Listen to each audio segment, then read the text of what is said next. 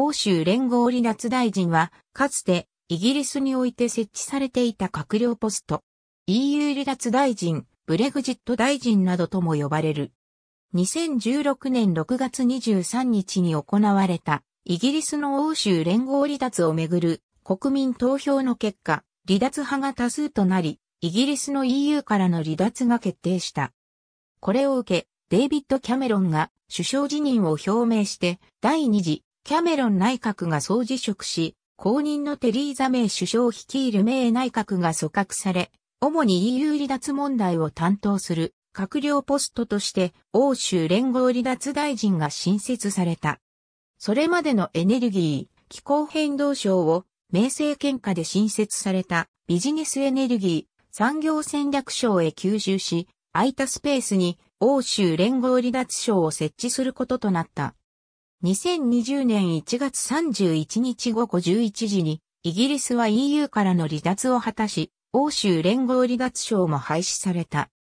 政党別色分け保守党、セシル、ニコラス、 Brexit Secretary、David Davis says UK、will quit the EU in December 2018。Evening Standard、http www.standard.co, UK、news、politics、Brexit Secretary David Davis we、will quit the EU in December -2018、A3295716、HTML2016 年7月14日、閲覧。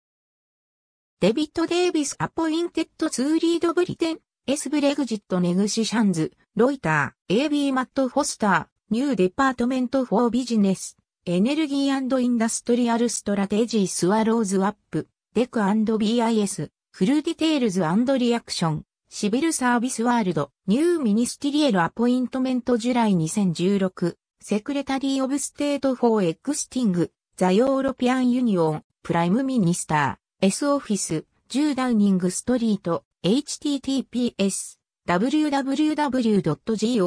UK Government News New ministerial appointment July minus 2016 Secretary of State for Exiting the European Union ハット Adam Taylor David Davis the man in charge of getting Britain out of the EU Washington Post Department for Exiting the European Union has closed イギリス政府電子サービス。2020年2月17日閲覧。ありがとうございます。